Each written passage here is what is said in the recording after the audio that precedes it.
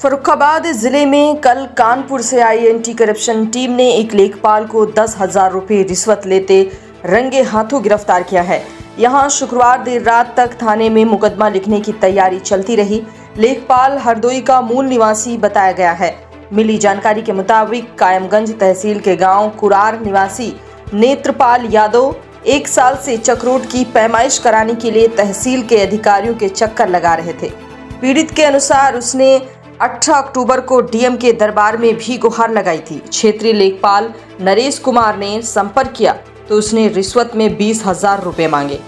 श्री नेत्रपाल जो मेरापुर थाना क्षेत्र के रहने वाले हैं चक्रोट के पैमाइश के लिए नरेश लेखपाल से संपर्क किए। नरेश लेखपाल द्वारा चक्रोट के पैमाइश हेतु बीस हज़ार रुपये की डिमांड की गई रिश्वत के रूप में। इस संबंध में श्री नेत्रपाल द्वारा कानपुर में एंटी करप्शन टीम में शिकायत की गई। एंटी करप्शन की टीम उक्त शिकायत पे आज कायमगंज से अभियुक्त नरेश को दस हज़ार रुपये लेते हुए गिरफ़्तार किया गया है। उनके द्वारा थाना कादी गेट में एफ़ पंजीकृत कराया जा रहा है। अन्य विधि कार्रवाई की जा रही है। लेखपाल से परेशान नेत्रपाल ने 30 अक्टूबर को कानपुर के एंटी करप्शन थाने के प्रभारी चंद्रभान सिंह से संपर्क किया। टीम के सूत्र बताते हैं कि शुक्रवार दोपहर में टीम के अधिकारी नेत्रपाल से मिले। टीम ने लेखपाल से मोबाइल पर बात कराई तो अपने पास से दस हज़ार रुपये दिए।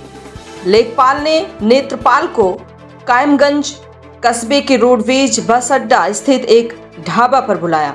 टीम के अधिकारियों ने पहले ही वहाँ जाल बिछा लिया था। लेखपाल ने नेत्रपाल से दस हज़ार रुपये लेकर बैग में रख लिए और जल्द ही नाप जोख करने का भरोसा दिया।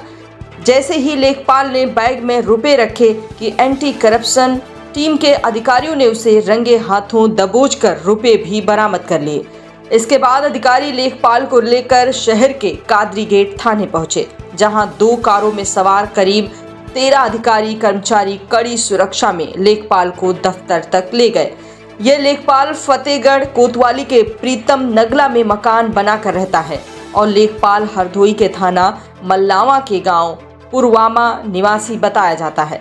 देर रात तक अधिकारी मुकदमा दर्ज कराने के लिए लिखा पढ़ी करते रहे। थाना इंस्पेक्टर विनोद शुक्ला ने बताया कि एंटी करप्शन के अधिकारी लेखपाल को गिरफ़्तार कर लाए हैं। वे लिखा पढ़ी कर रहे हैं। तहरीर मिलते ही मुकदमा दर्ज कर लिया जाएगा। फ़िलहाल इस प्रकरण के बाद पूरे ज़िले में हड़कम की स्थिति है और जाँच जारी है।